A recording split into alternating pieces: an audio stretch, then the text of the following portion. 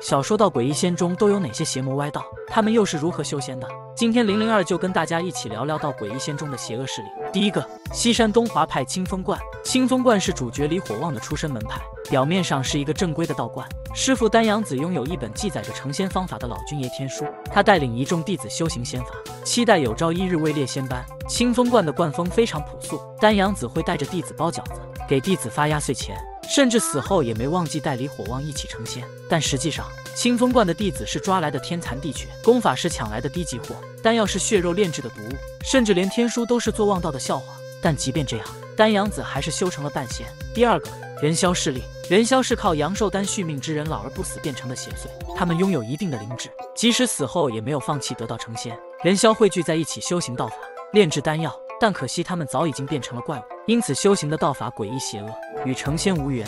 第三个白莲教，白莲教是女主白灵淼的母教，他们自称白家人，世代生活在一个小山村里，表面上看十分祥和，但实际上白莲教信仰司命无声老母，拥有神打鸡童的神通。他们屠戮周围村落，用人柱修建白莲教的秘密基地，是监天司指明要清理的邪恶教派。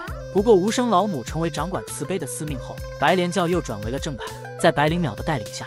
白莲教带领其他门派一同抵抗天灾，最终成为了大梁的国教。第四个，墨家，墨家墨守成规，一直沿用古时的规矩，哪怕这些规矩已经被定义为了邪规，墨家会想尽办法弄到官家人，然后文火慢炖制成美食。墨家还会将首个亲生骨肉献祭给保家仙。更离谱的是，墨家不得跟外人通婚，只能兄妹子母互通，因此墨家人天生畸形怪异，遭到了其他门派的共同厌恶。第五个，天辰国，天辰国是大梁之外的世界。与无声老母有生死之仇，天辰国供奉左丘勇曾抢夺无声老母的长生天道，成为了肉身司命。之后，左丘勇带领说不得大军占据天辰国，寻找诛杀无声老母的方法，最终为大梁与大齐带来了人为天灾。第六个，作望道，作望道信奉掌管谎言天道的阴阳斗老，是一群以骗人为道的乐子人。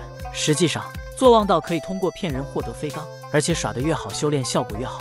因此，作望道人均骗人上瘾，即使失去生命，也要把耍人进行到底。其中耍人最厉害的是头子，下面是三元四喜，最底层的是麻将普通花色，而且数字越大地位越低。想要加入我们作望道很简单，陪头子打局麻将，自摸哪张牌就能成为哪张牌。